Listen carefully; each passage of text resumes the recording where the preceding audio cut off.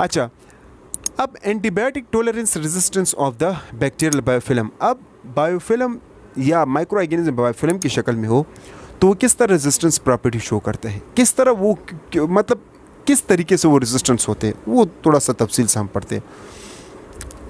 पहली बात तो ये कि जब बैक्टीरिया या जो भी माइक्रो ऑर्गेनिज्म अगर बायोफिल्म में हो तो उसमें म्यूटेशन होती है चेंजेस होती है। जिसकी वजह से वो रेजिस्टेंस शो करते हैं। ये पहली प्रॉपर्टी है। आप किस तरह पढ़ते हैं? The bacteria that is present in the biofilm are easily to resistance to several antibiotic due to mutation as compare to as compare to bacteria that is present in the planktonic form अगर एक प्लांटोनिक form में bacteria मौजूद हो तो उसको पेरकिल करना आसान हो जाता है।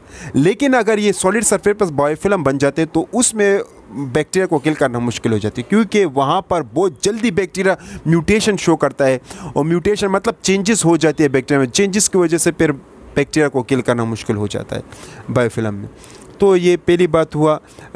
These bacteria easily become resistance to aminoglycosides fluoroquinolones and lactam antibiotics ये देखो काफ़ी एडवांस एंटीबायोटिक्स है। अब इन्हीं एंटीबायोटिक को अगर आप यूज़ करते हैं दूसरे बैक्टीरिया तो वो किल हो जाते हैं। लेकिन अगर ऐसे बैक्टीरिया जो कि काफ़ी कमज़ोर होते हैं, लेकिन अगर वो बायोफिल्म में अवेलेबल हो गए तो उसमें ऐसे म्यूटेशन आ जाएगी कि इस एडवांस जो एंटीबायोटिक जैसे कि अमानोग्लाइकोसाइड फ्लोरोकुलिन लेक्टम एंटीबायोटिक से भी फिर उसको किल करना मुश्किल हो जाता है। तो ये बहुत ज़्यादा इंपॉर्टेंट पॉइंट है, इसको जहन में रख ले। जो नेक्स्ट पॉइंट है, वो ये कहते हैं कि bacterial biofilm must simultaneously produce antibiotic degradation enzymes जब बैक्टीरिया बायोफिल्म में होते हैं तो वो क्या करते हैं? ख़ास किस्म के ऐसे आपके पास ख़ास किस्म के एंजाइम प्रोड्यूस करते हैं, जो कि एंटीबायोटिक को क्या करते हैं? डिग्रेड करते हैं। It has been shown experimentally that mutation in the bacteria biofilm establish the surface of the antibiotic resistance it has been shown experimentally that mutation in bacterial biofilm establish surface uh, antibiotic resistance especially due to expression of the multi-drugs efflux pumps कहने का मतलब ये है कि experimentally भी ये proof हो चुका है कि म्यूटेशन की वजह से क्या हो जाता है बैक्टीरिया के इर्द गिर्द ख़ास किस्म के पंप्स आपके पास बैक्टीरिया में प्रोड्यूस हो जाए जिसको हम एफ्लेक्स पंप्स कहते हैं जब बैक्टीरिया मेम्ब्रेन के ज़रिए इंटर सॉरी जब एंटीबायोटिक बैक्टीरिया के मेम्ब्रेन के अंदर इंटरनलाइज होता है तो एफ्लेक्स पम्प्स ऐसे पम्प्स होते हैं जो कि बैक्टीरिया को दोबारा क्या कर लेते हैं? उसी सेल से रिलीज़ आउट कर लेते हैं। तो ये जो प्रॉपर्टीज़ होती है बैक्टीरिया के जिस जिसकी वजह से वो अब एंटीबायोटिक से रेजिस्टेंस है यानी एंटीबायोटिक से ख़ुद को बचा सकता है तो वो भी इसी म्यूटेशन की वजह से होती है। तो म्यूटेशन की वजह से ओ, मतलब क्या होता है? एंटीबायोटिक काम नहीं करते। ठीक है? तो ये दूसरी तो अब नेक्स्ट जो है, वो ये है कि प्रेजेंस ऑफ़ रेजिस्टेंस फिनोटाइप अब फिनोटाइप ख़ास किस्म के जीन्स होते हैं बैक्टीरिया में, उस जीन्स की वजह से भी क्या होते हैं एंटीबायोटिक से बायोफिल्म को किल करना मुश्किल होता है। कौन सी जीन्स वो थोड़ा सा पढ़ते हैं? There is a biofilm specific phenotypic which which is resistance to antibiotics आप बैक्टीरिया में खास कर फिनोटाइपिक जीन्स होते हैं। उस जीन्स से फिर एंटीबायोटिक्स क्या करते हैं? मतलब माइक्रो ऑर्गेनिजम्स को फिर किल नहीं कर पाते। ठीक है? Next this phenotype is present within subpopulation of the biofilm हाँ this phenotype is present within subpopulation of the biofilm community which result in the expression of the active mechanism of the making biofilm antimicrobial resistance इनका मतलब ये हुआ अच्छा जी, अब इनका मतलब ये है कि अगर एक बैक्टीरिया में फिनोटेपिक जीन्स अवेलेबल हो तो वो फिनोटेपिक जीन्स दूसरे बैक्टीरिया में जा सकती है। इसी तरह तीसरे, चौथे, पाँचवें में। ये चले जाते हैं। जब ये चले जाते हैं तो दूसरे बैक्टीरिया भी क्या होते हैं? एंटीबायोटिक से रेजिस्टेंस हो जाते हैं। ठीक है? नेक्स्ट है इंडक्शन ऑफ़ बायोफिल्म फिनोटेपिक मतलब इंडक्शन का मतलब है कि इसमें इंक्रीजमेंट होना। The resistance phenotypic is may be induced by certain type of environmental stress ये इंड्यूस मतलब कम होना या इसमें चेंजेस आना। ये किसकी वजह से होती है?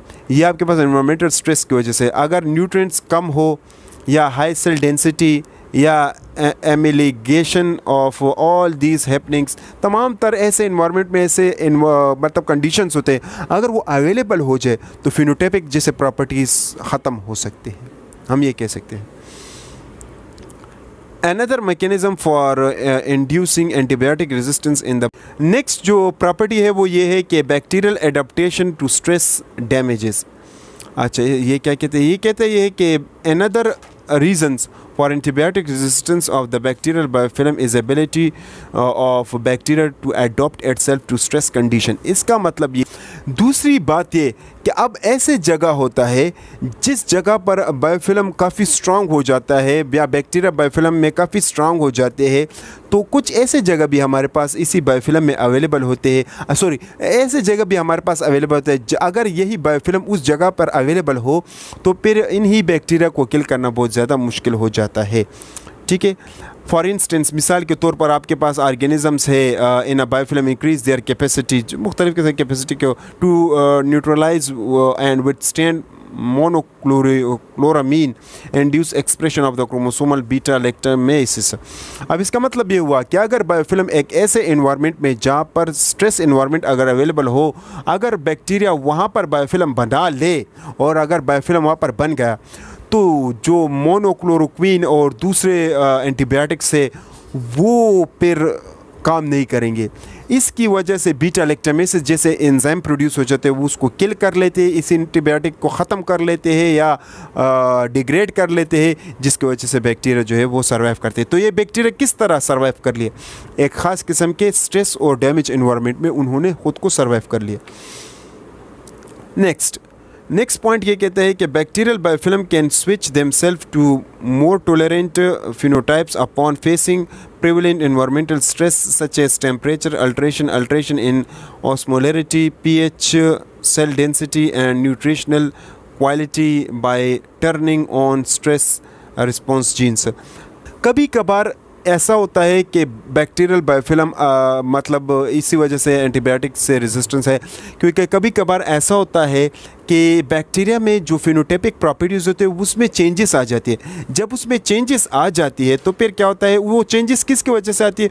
वो चेंजेस इन्वायरमेंटल कंडीशन की वजह से आ जाती है। जैसे कि टेम्परेचर या इसके ऑस्मोलरिटी की वजह से पीएच सेल डेंसिटी की वजह से, या न्यूट्रिशनल या दूसरे कंडीशन की वजह से जब बैक्टीरिया में चेंजेस आ जाती है बायोफिल्म में तो उसकी वजह से भी इसको किल करना फिर मुश्किल हो जाता है। तो अब ये सारे क्या है? ये जो तीन पॉइंट्स हमने पढ़े, ये हमने बैक्टीरिया के पढ़े, ले बायोफिल्म के। लेकिन ये ऐसे एरिया में पाए जाते हैं बैक्टीरिया। अगर उन्हीं एरिया में बायोफिल्म बन जाए तो फिर उसी एरिया में भी आ, मतलब एंटीबायोटिक से उसको किल करना बहुत ज़्यादा मुश्किल होता है। Next quorum sensing and high cell density अब कोरम सिनिंग और हाई सेल डेंसिटी की वजह से भी बायोफिल्म को किल करना मुश्किल है एंटीबायोटिक से। किस तरह?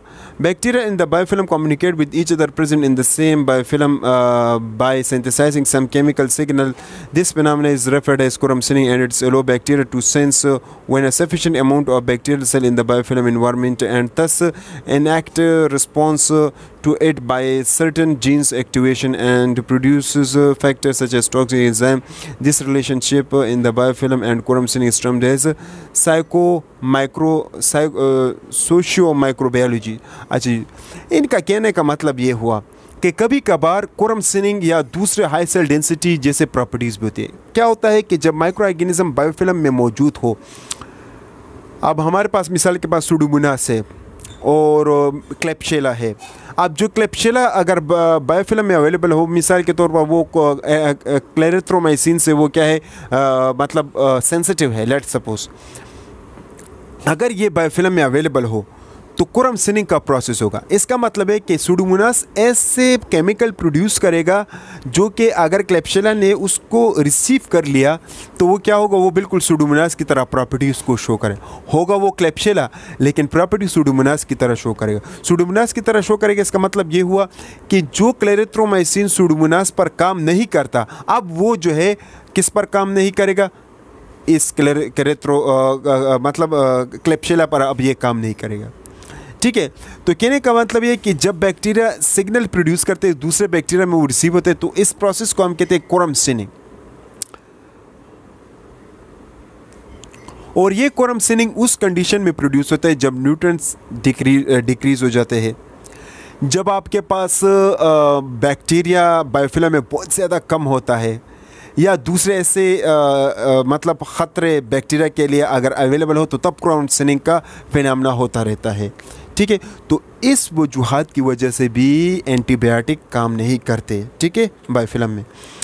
Quorum sensing is responsible for regulating virulence factor production of the are the lysin and extracellular enzyme which are extracellular for the pathogenesis of the infection. अच्छा इनके कहने का मतलब है कि कुरम सिनिंग जो है, वो आपके पास virulence of the microorganisms की वेरुलेंसी को इम्प्रूव करता है।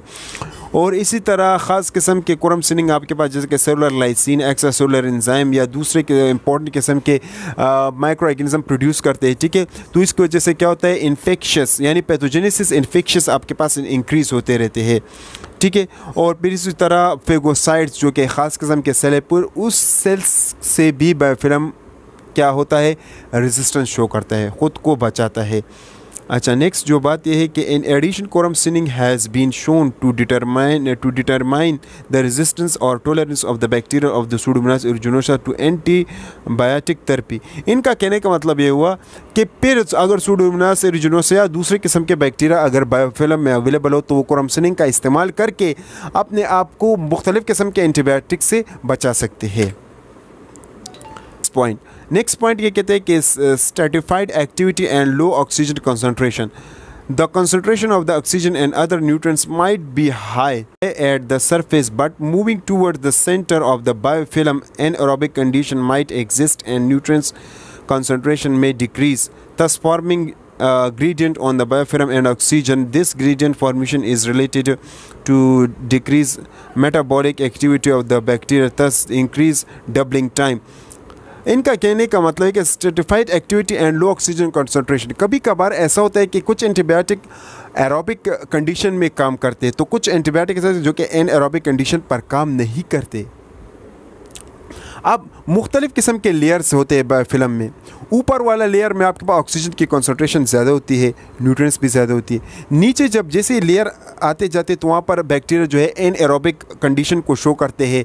जब एन एरोबिक कंडीशन शो हो जाती है तो फिर क्या होता है न्यूट्रिएंट्स भी कम हो जाते हैं। तो कहने का मतलब ये है कि एन एरोबिक कंडीशन में फिर बैक्टीरिया सर्वाइव कर सकते हैं, हम ये भी कह सकते हैं। तो इनका कहने का मतलब है कि जब इस किस्म के प्रॉपर्टीज़ भी हो तो उससे भी फिर एंटीबायोटिक का इस्तेमाल करना फिर वैसे फजूल है, ठीक है? तो कहने का मतलब है कि ये इसी तरह बैक्टीरिया मुख्तलिफ़ किस्म के प्रॉपर्टीज़ इस बायोफिल्म में शो करते हैं, जैसे कि एरोबिक एन एरोबिक दूसरे प्रॉपर्टीज़ कॉरम सिलिंग वगैरह etcetera due to this way the bacteria biofilm tolerates antibiotic तो इसी वजह से बैक्टीरिया जो है, बचाता है। The stratified activity along with low oxygen concentration and reduce growth rate may result in least ability to of biofilm to antibiotic and अच्छा इनका मतलब है कि अगर इसी तरह स्ट्रेटिफाइड एक्टिविटी मतलब ऑक्सीजन की अवेलेबिलिटी या ऑक्सीजन की जो रिमूवल या डिस मतलब ऑक्सीजन अगर ना हो, मौजूद ना हो, या इसके अलावा एन एरोबिक कंडीशन अवेलेबल हो जाए तो इसी वजूहत की वजह से भी एंटीबायोटिक या एंटी माइक्रोबियल से माइक्रो ऑर्गेनिज्म को किल करना बहुत मुश्किल हो जाता है। अब ये आप देख सकते हैं, ठीक है? ये जो येलो लेयर है, ये येलो लेयर ये वाला। ये जो येलो लेयर है, ये वाला। अब इसका मतलब ये हुआ कि एंटीबायोटिक क्या करता है कि अपनी कोशिश करते हैं कि इस लेयर को ये सम वो किल कर लेगा। सम इतना ज़्यादा नहीं, लेकिन सम उसको किल कर लेगा। अब ये जो ग्रीन लेयर है, ये ये शो करते हैं कि यहाँ पर बैक्टीरिया रेजिस्टेंस है। ये, अब एक एंटीबायोटिक ह्यूमन बॉडी इस्तेमाल कर, अब एक एंटीबायोटिक से इस एरिया को किल करना मुश्किल है। ऊपर वाला एरिया चलो ख़त्म तो हो जाएगा, लेकिन नीचे वाला एरिया जो है वो रेजिस्टेंस है ग्रीन वाला। उसको किल करना बहुत मुश्किल होता है। अब ये जो पिंक वाला एरिया है पिंक वाला, यहाँ पर मतलब ये हुआ कि अब एंटीबायोटिक में इतना एबिलिटी नहीं है कि वो आ जाए और इस नीचे वाले लेयर को ख़त्म कर ले। इतनी आ, मतलब एबिलिटी नहीं है एंटीबायोटिक में। तो जो नीचे लेयर होता है वहाँ पर ऑक्सीजन कम हो जाता है वहाँ पर न्यूट्रंस भी कम हो जाते हैं। तो यहाँ पर फिर एंटीबायोटिक पहुँचना भी फिर उसके लिए काफ़ी दुशवार हो जाता है या मुश्किल हो जाता है तो फिर इसी तरह एंटीबायोटिक काम नहीं कर पाएगा ठीक है? नेक्स्ट है failure of penetration of the antibiotic in the biofilm कभी कभार एंटीबायोटिक जो है, वो बायोफिल्म के लेयर को पेनिट्रेट करना उसके लिए काफ़ी मुश्किल हो जाते हैं। बहुत बड़ा लेयर होता है।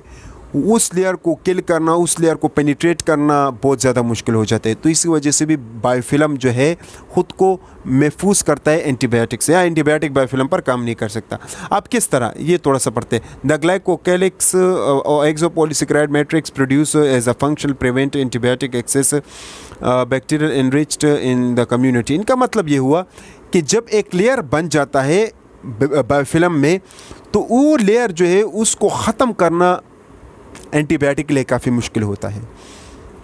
वो लेयर एक्सोपोलिसिक्राइड या ग्लाइकोकैलिक से बने होते हैं, जहाँ पर एंटीबायोटिक चिपक जाते हैं और नीचे की तरफ़ एंटीबायोटिक नहीं आते। लेकिन हम ये कह सकते हैं, ऊपर जितने बैक्टीरिया थे वो समहाउ किल हो किल हो जाते लेकिन ये एंटीबायोटिक अगर लेयर मौजूद हो तो उस चिपचिपे लेयर से गुजर कर एंटीबायोटिक बहुत ज़्यादा मुश्किल से नीचे चला जाता है। या तो हम ये कह सकते हैं एंटीबायोटिक नीचे चले भी नहीं जाता। तो इस लेयर को ख़त्म करना एंटीबायोटिक की बस की बात नहीं होती, ठीक है? It can limits the transport of antimicrobial agent into the cell embedded in the biofilm अब ये क्या होता है? अगर यहाँ पर बायोफिल्म में अगर ये लेयर मौजूद हो तो यहाँ पर एंटीबायोटिक का जाना और बैक्टीरिया को किल करना बहुत मुश्किल हो जाता है, या वो किल नहीं कर पाएगा, ठीक है? तो इसका ये मतलब other researchers made use of infrared uh, spectroscopy to show that the transportation of the rate of antibiotic ciprofloxacin to colonization surface was sterilise uh, surface इनका मतलब है कि बहुत से साइंसदानों ने जो है स्पेक्ट्रोस्कोपी uh, के ज़रिए उन्होंने ये शो किया है कि जो सेप्रोफ्लॉक्सिन अगर हम इस्तेमाल करते हैं तो वो समहाउ इस लेयर को तोड़ देते हैं लेकिन बहुत ज़्यादा लेयर को वो तोड़ नहीं पाते। ठीक है? या ख़त्म नहीं कर पाते। It was suggested that low penetration अच्छा जी नेक्स्ट पॉइंट ये कहते हैं कि even the antibiotic agent get absorb in the biofilm matrix have shown to have rigidity penetration हालाँकि हम ये कह सकते हैं कि एंटीबायोटिक यहाँ पर एब्जॉर्ब हो जाते हैं इसी बायोफिल्म के अंदर। लेकिन so slow penetration of the aminoglycoside antibiotics वो is one of the example लेकिन क्या हो जाता है? कि इसी तरह अब मिसाल ये आपके पास लेयर से लेट सपोज़ ये एंटीबायोटिक है, ये आ जाता है यहाँ पर, ये अब एब्जॉर्ब होगा। ये जो नीचे लेयर है, यहाँ पर ये अब नहीं आ पाएगा, यहाँ पर अब ये अटक गया है। तो अब किस तरह ये दूसरे बैक्टीरिया किल करेंगे? अब ये एंटीबायोटिक अगर मिसाल के तौर पर ख़त्म हो भी गया लेट सपोज़ तो इसी तरह ये एंटीबायोटिक ख़त्म होगा। अब इतने लेयर ख़त्म होगा, अब ये एक लेयर है तो आहिस्ता आहिस्ता फिर फ़िल्म बन जाएगा, इसी एक लेयर की वजह से। ठीक है। इसी वजह से एंटीबायोटिक काम नहीं करता। अच्छा जी these antibiotics are positively charge agent bind them self negatively charge polymer अच्छा जी, ये एंटीबायोटिक जो एब्जॉर्ब होते हैं किस तरह? क्योंकि एंटीबायोटिक के ऊपर अगर पॉजिटिव चार्ज हो और इसी तरह बायोफिल्म के लेयर में अगर नेगेटिव चार्ज हो तो ये इसके वजह से चिपक जाते अटैच हो जाते जिसकी वजह से वो नीचे की तरफ़ नहीं जाता या ऊपर की तरफ़ या समहाउ इधर उधर नहीं जा पाता। और इसी वजह से बैक्टीरिया सर्वाइव कर लेते हैं और एंटीबायोटिक फेल हो जाता है।